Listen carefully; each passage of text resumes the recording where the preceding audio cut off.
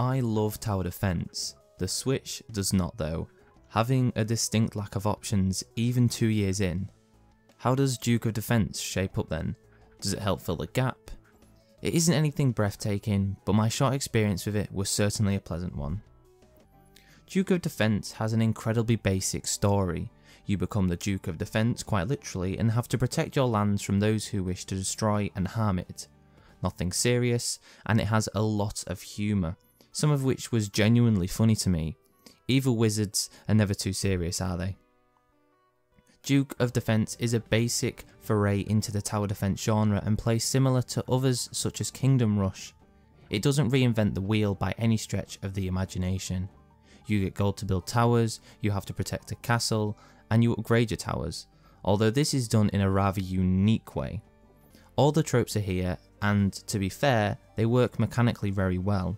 You place towers over trees, and there are a total of 9 all upgradable towers ranging from basic arrow towers, which you unlock right at the start, to ice and fire ones, which you unlock as you progress through the story.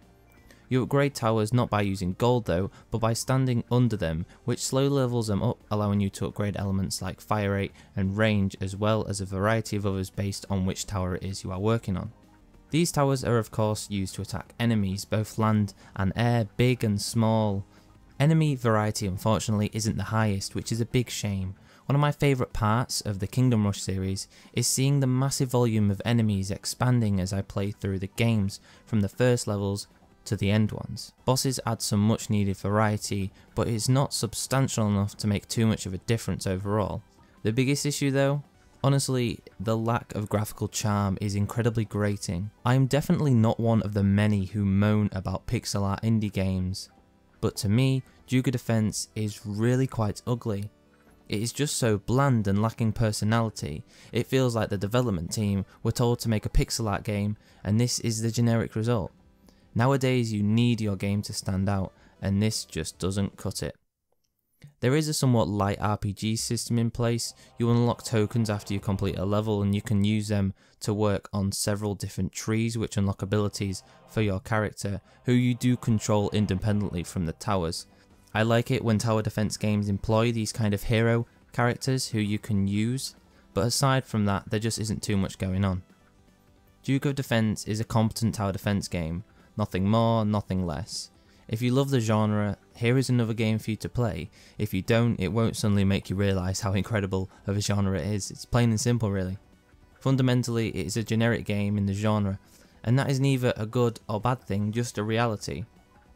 I would say if you're a fan of tower defense games, it is 100% going to satisfy your quench for them.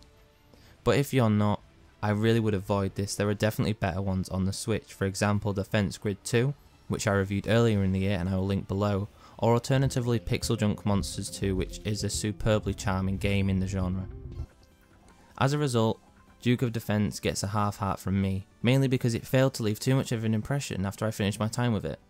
I hope you enjoyed another quick review. If you're interested in more in-depth breakdown of Duke of Defense, be sure to check out the written version of the review which will be live when you are watching this. Aside from that, be sure to subscribe for more reviews and top 10 lists and other indie based content here at Nindie Nexus, we are aiming to champion the indie scene on the Nintendo Switch. My name is Tom, thank you so much for watching. Peace out.